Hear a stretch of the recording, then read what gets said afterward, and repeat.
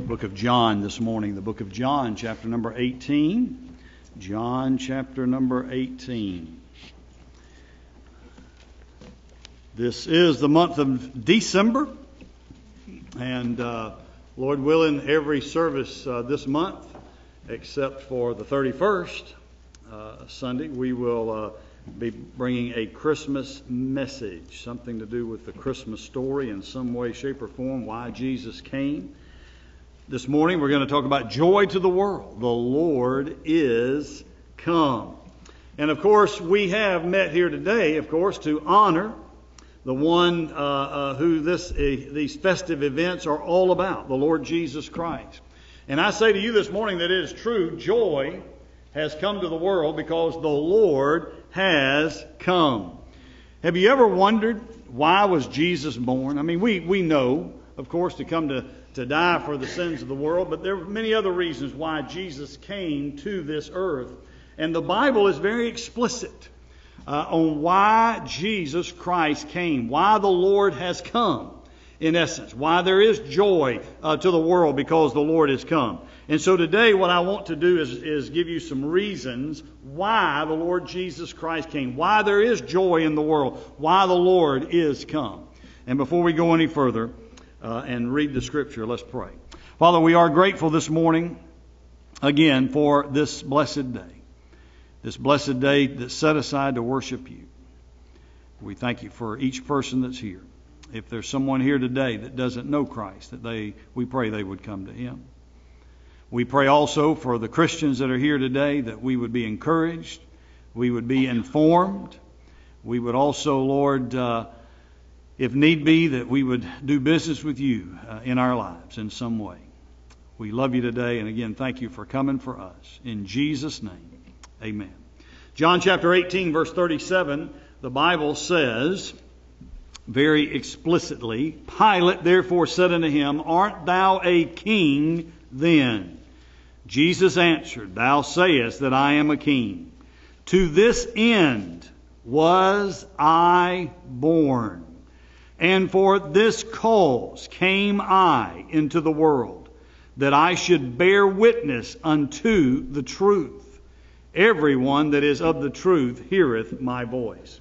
So the first reason, and you'll see these on the board, the first reason is that Jesus Christ came to declare truth or to declare the truth. Pilate uh, asked, uh, he said, What is truth? In, in, verse, uh, uh, in verse 38, he says, What is truth? And of course, Jesus had already answered this question before when Jesus said, way back in John 14, I am the way, the truth, and the life. So we know that Jesus Christ is the truth. And one of the reasons the Lord Jesus Christ came, which he tells us here in John 18 37, that one of the reasons why he was born, so that he should wear, bear witness unto the truth. He would come and he would declare the truth. He would come and declare what truth really is. Now, boy, we live in a world where you don't know what is true and what's not true, right? Uh, have you heard the term fake news lately? Uh, uh, uh, do you believe everything you see on television? Well, or, or in the newspaper? Let me tell you something. If you do, then you're wrong. Uh, because there's a lot of things that's made up in our world today. And, and there's a lot of lies that go out in our world today. And you better make sure uh, of, of what is the truth before you uh, uh, glibly do that. One of the things that I made up my mind many, many years ago was that I was never I, I never wanted to, anyhow, I never wanted to say anything from this pulpit that wasn't the absolute truth. Uh, because you hear a lot of things and a lot of people say a lot of things, and then it, you find out later on, well, that was not the truth. And so things need to be verified and things need to be checked out. Well, let me tell you something. When the Lord Jesus Christ came to this earth, He came and He was the truth and, and He declared the truth and He verified the truth of Scripture. I remind you that Jesus Christ did something that none of us can say we have not done. He never lied. The Lord Jesus Christ never lied. The Lord Jesus Christ never contradicted Scripture. Uh, everything that he said verified the scripture. Matter of fact, over in Matthew chapter 5, he said, I am not come to destroy the law, but he said, I have come to fulfill the law. I've not come to destroy it. That's what many people thought he was, had come to do. But he is the fulfillment of all scripture.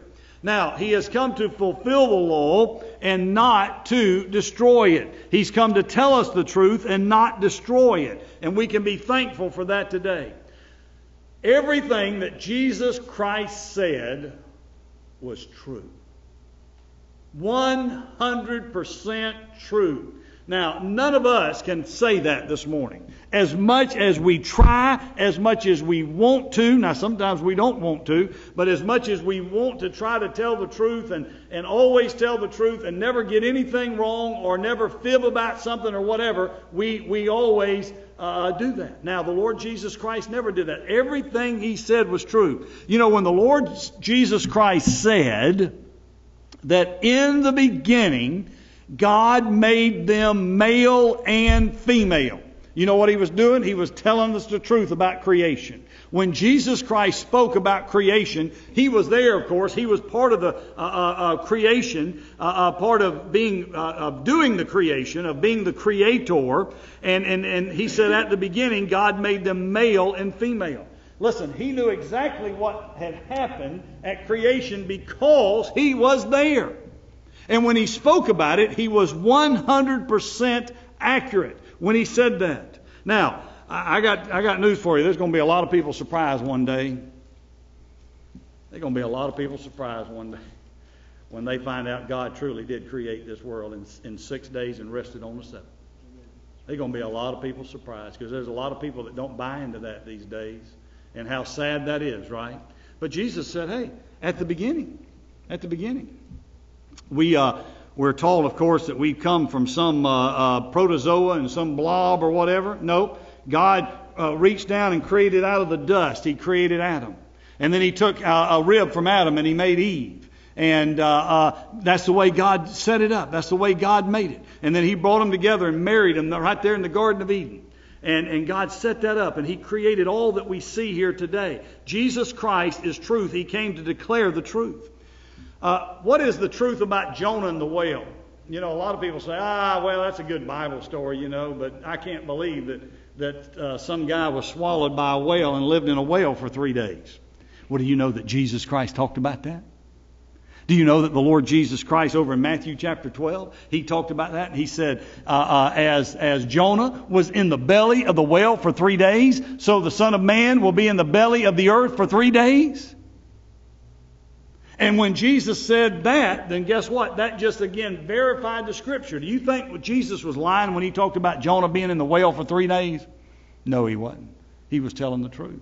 What, what, is the, what is the truth about the wisdom of Solomon? You know, we hear about Solomon, and of course, we can read about it in the Bible, and we, we hear about it. And, and what is the truth behind the wisdom of Solomon? Was he as wise as, as, as it's made out to be? Well, Jesus even spoke about that.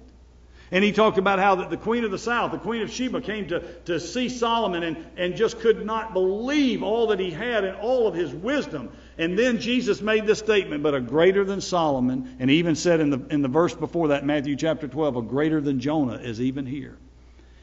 And when he said all of those things, he spoke truth. Everything he said was 100% true. He came to declare the truth. His works also declared the truth about God. Uh, uh, he said that whoever believes on me does not have to abide in darkness, but can, can, can abide in truth or can abide in the light. Uh, we don't have to abide in the darkness of what's true and what's not true when it comes to God and spiritual matters because Jesus has come to tell us the truth and to put us into the light. Listen, Jesus Christ went about doing good things, did he not? The Bible even says he went about doing good. Did Jesus ever help anybody? Yes, he did. Did he ever heal anybody? Yes, he did. Uh, uh, did he ever uplift anybody? Yes, he did. Uh, uh, did he ever preach great messages? Yes, he did. And when he did all of those things, you know what? He was declaring the truth about God in, in this way. He was declaring the truth. He was, he was telling us what God is like and telling us the truth about God. And he was telling us that God is love. God is love. When Jesus Christ walked on planet Earth, let me tell you something, and he did all those things to help people, to heal people, to uplift people, to preach to people, to teach to people, to, to encourage them and help them in every way. Let me tell you something. He showed the truth that God is truly love. I'll remind you this morning that God is love. He went about doing good. But then he also raised people from the dead.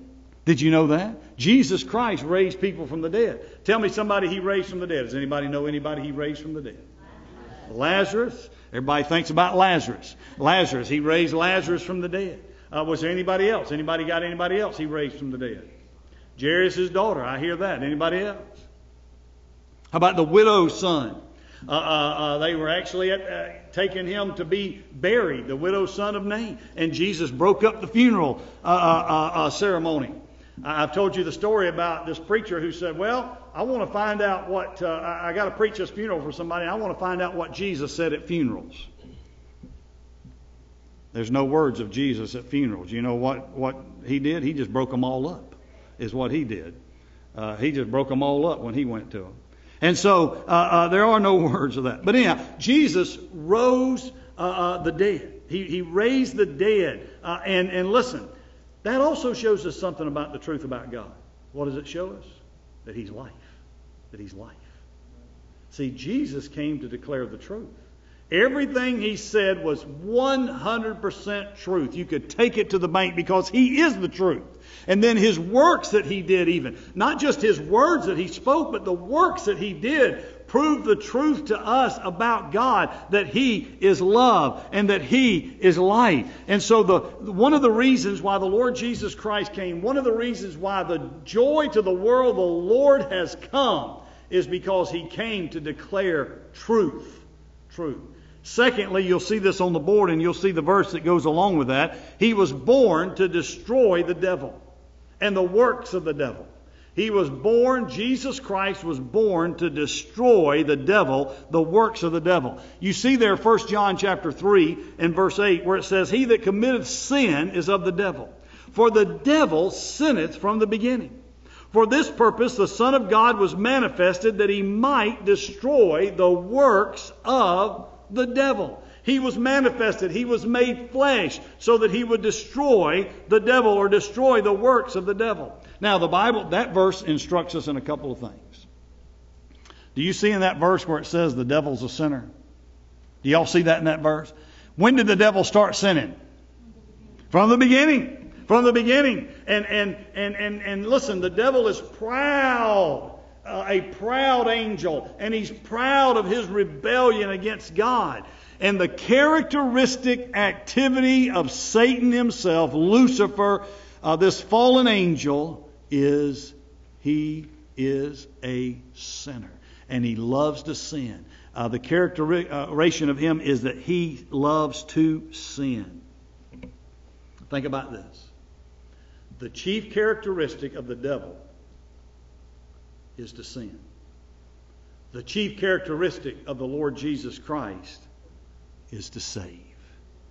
Think about that. The chief characteristic of the devil is to sin. The chief characteristic of our Lord Jesus Christ is to save. Now, all right, let me get everybody's attention.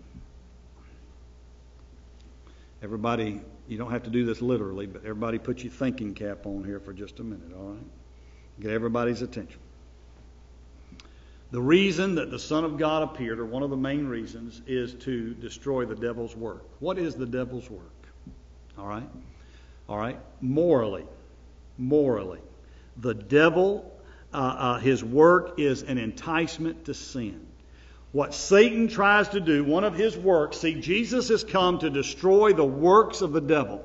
And one of the works of the devil is to tempt us or entice us to sin. That is one of his work. So I say to you, morally, Satan's work is to entice us to sin. Physically, physically, his work is the infliction of disease. Uh, we have that sin nature, and, and, and God allows this, of course, but, but Satan comes along and he wants to inflict us with physical disease and physical harm in some way, is, is the work of Satan. And then intellectually, the work of Satan is to seduce us into error and to heresy.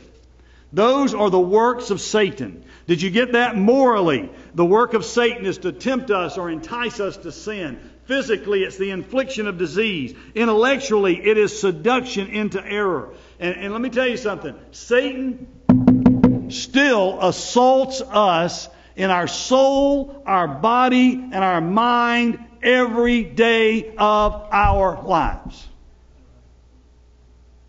But Christ has come to destroy his works. Now, hang with me. You say, well, it hadn't been quite destroyed yet. Well, just hang with me. The destruction is a, a loosing, as, as if his works were chains which, which bind us.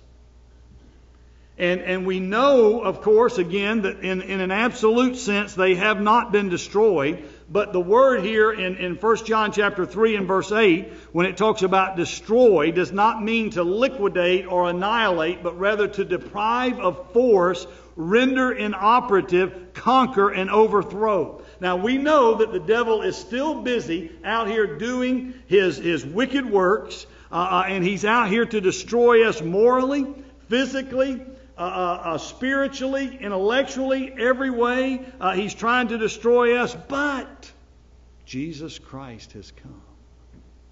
And Jesus Christ has defeated Satan. And guess what? We can escape from his tyranny. We do not have to be bound by him anymore.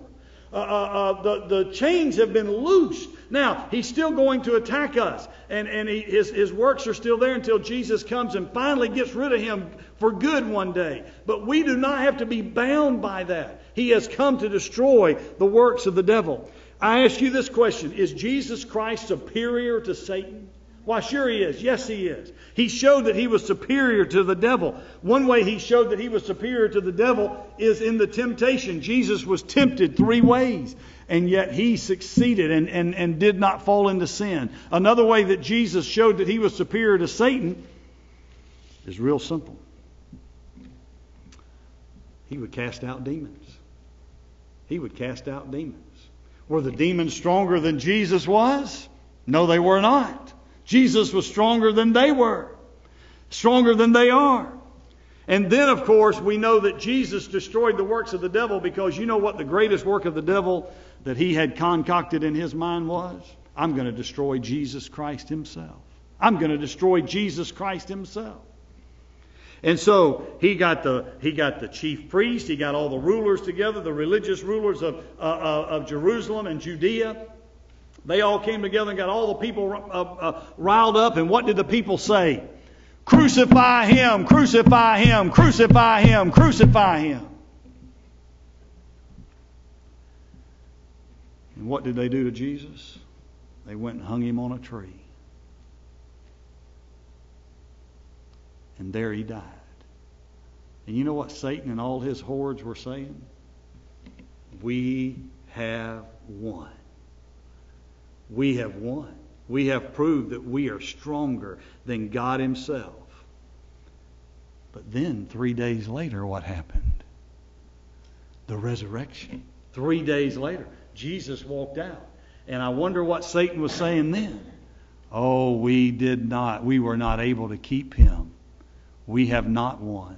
Jesus has truly come to destroy our works and the works of the devil. Jesus told his disciples, He said, Go ye therefore and, and teach all nations. What are we supposed to teach all nations? I'll tell you, the main thing we're supposed to teach them that Jesus is alive, that the works of the devil have been destroyed. Matter of fact, in Revelation chapter 1, I am he that liveth and was dead, and behold, I am alive forevermore. Amen. And I have the keys of hell and death. That's what Jesus said. Jesus has come.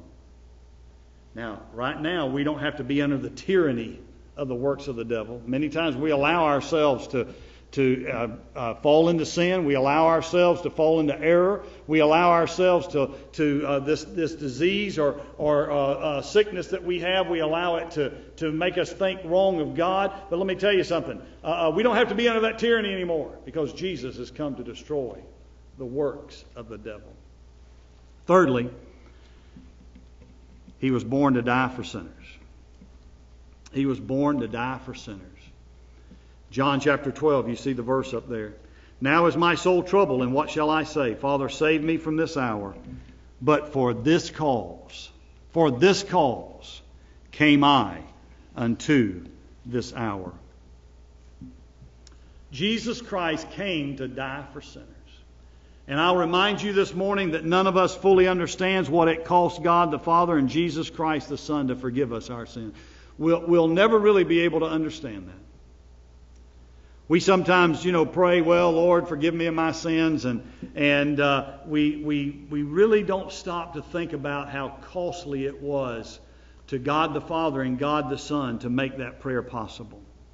And I and and listen, those who are not Christians, they, they certainly don't appreciate it. They certainly don't appreciate it. Matter of fact, some mock it. I read this story about this man who was asked whether he thought God could forgive some terrible sin. And this man replied glibly. He said, Well, forgive? well, that's his business. And uh, let me tell you something. A lot of people just glibly think, well, that's just God's business. Of course, He's just going to forgive sin. And we, and we fail to think about how much it costs God the Father and God the Son.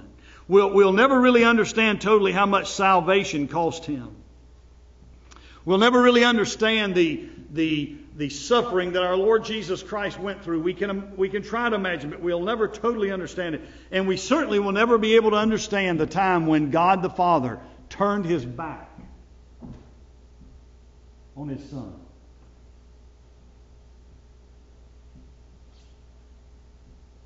They had never been a time from eternity past that God the Father and God the Son had not been in 100% fellowship. But there came a time for about a three hour period where it didn't happen. And you know why that did? Because of me because of you.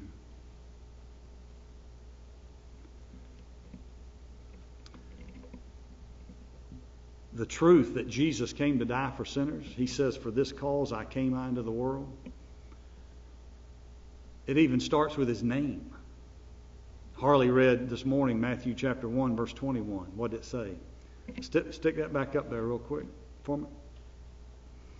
She shall bring forth a son and thou shalt call his name what? Jesus. For he shall save his people from their sins. Jesus means Savior. You can go back to the other front. Jesus means Savior. And let me tell you something. Bill Gaither wrote the song uh, many years ago. Uh, uh, Jesus, Jesus, Jesus. There's just something about that name. Master, Savior, Jesus, like the fragrance after the rain. Jesus, Jesus, Jesus, let all heaven and earth proclaim. Kings and kingdoms will pass away, but there's something about that name. Even in his birth name, it is declared that Jesus Christ has come to die for sinners. And there's something about that name because it means Savior. Now, think about this with me. Your birthday as long as you're here on planet Earth, is celebrated. Uh, uh, you know, we have every night, you know, we do celebrate uh, now uh, uh, Martin Luther King and George Washington, Abraham Lincoln, and a couple others, you know, we'll, we'll hear about every year. You know, we'll celebrate their birth, quote, celebrate their birthdays. It's just a free day off. I don't get my mail that day and the banks are closed. Uh, so that's, that's about what it is. and some of you get the day off. But think about this. Whose birthday have we celebrated for 2,000 years? The Lord Jesus Christ. Because he came to die for sinners. The truth that Christ came to die for sinners was declared also in his life. Uh, Mark 10:45 for even the son of man came not to be ministered unto but to, to minister to other and to give his life a ransom for many for he hath, uh, he hath made him to be sin for us who knew no sin that we might be made the righteousness of God in him and, and so Jesus Christ came to die for sinners. For this hour came I into this world, he says. Uh, uh, uh, it was declared in his death, but God commendeth his love toward us, and that, and that while we were yet sinners, Christ died for us. Jesus Christ came to die for sinners. Now, when you and I were born, when you were born, it was a glorious day, wasn't it? Do you remember it?